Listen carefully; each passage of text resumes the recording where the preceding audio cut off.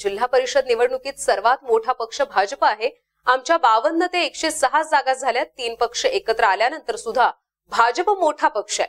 त्यामुळे आमचा मोठा पराभव झाला अशी काही परिस्थिती नाही असं मत विरोधी पक्षनेते देवेंद्र फडणवीस यांनी मांडलंय. भाजपच्या कोअर कमिटीच्या बैठकीनंतर फडणवीस माध्यमांशी बोलत होते. दरम्यान यावेळी मरसेबाबतही त्यांनी पक्षाची भूमिका स्पष्ट केली आहे.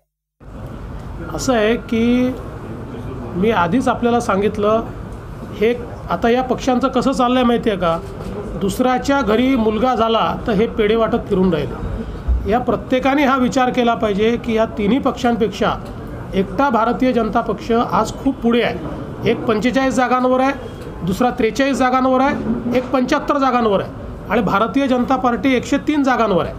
त्यामुळे हे पेढे वाटणं त्यांनी बंद करावं असं माझं मत आहे. आपली आणि राज ठाकरेंची बैठक झाली होती का? मी अतिशय स्पष्टपणे सांगितलेलं आहे. पुन्हा सांगतो मनसे आणि भारतीय जनता पार्टी एकत्रित येण्याचा आत्ता कुठल्याही आमची चर्चा नाही.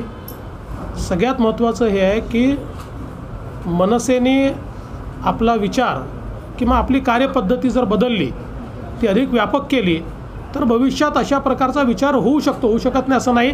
पण आज तरी असा कुठलाही विचार नाही. आजची त्यांची कार्यपद्धती किंवा आजची जे काही त्यांचा विचार आहे आम्हाला असं वाटतं की तो तेवढा व्यापक नाही आहे आमचा आम्ही एक राष्ट्रीय पक्ष आहोत. व्यापक विचाराने चालणारे आम्ही पक्ष आहोत. सर्व समाजाचे जातीचे भाषा बोलणारे सगळे लोक आमच्यासोबत आहेत. आणि त्यामुळे मला असं वाटतं की आज तरी जी परिस्थितीत आज त्यांचा जो जी विचारसरणी आहे आणि आमची जी विचारसरणी आहे याच्यात मेळ नाही आहे भविष्यात त्यात काही बदल झाला तर तुम्हाला समजेल.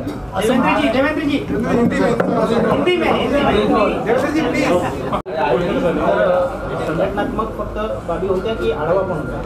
नाही ही संघटनात्मक बैठक होती आणि ही बऱ्याच आधी ठरलेली बैठक होती याचा निवडणुकीशी काही संबंध नाही आहे आणि झेडपीच्या निकालांचा जिथपर्यंत संबंध आहे हे खरं आहे की नागपूरमध्ये आमच्या सहा जागा कमी झाल्या किंवा पालघरमध्ये आमच्या काही जागा कमी झाल्या.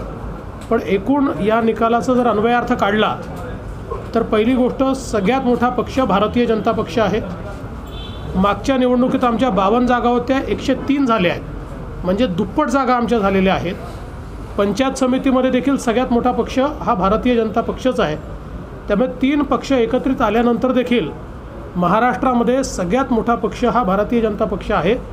आता हे ठीक आहे की अचानक या निवडणुका आल्या आणि त्यामुळे हे तीन पक्ष एकत्रित आहेत. तर त्याकरता जी काही स्ट्रॅटजी आम्हाला अजून करायला पाहिजे ती आता याच्यापुढे आम्ही करू. पण मला असं वाटतं की जनता आमच्या पाठीशी आहे हे आम्हाला मिळालेल्या जागांवरनं तरी निश्चित दिसतं झाला? नागपूरमध्ये की नागपूरमध्ये मागच्या निवडणुकीमध्ये आम्हाला एकवीस जागा होत्या आणि शिवसेनेला आठ जागा होत्या आणि आम्ही दोघांनी मिळून त्या ठिकाणी आमचं जे काही जिल्हा परिषद आहे ती बसवली होती. आता यावेळी आमच्या जागा सहा जागा कमी झालेल्या आहेत. पण शिवसेनेच्या जवळजवळ सात जागा म्हणजे त्याची एकच जागा त्या ठिकाणी आली आणि ते आमच्यासोबत नव्हते. काँग्रेस राष्ट्रवादी एकत्रित लढलं आम्ही आणि शिवसेना त्या ठिकाणी वेगळे लढलो. आणि त्यामुळे आपण लोक विधानसभेच्या निवडणुकीतही यावेळेस आम्हाला त्या ठिकाणी थोडासा सेटबॅक आलेला आहे.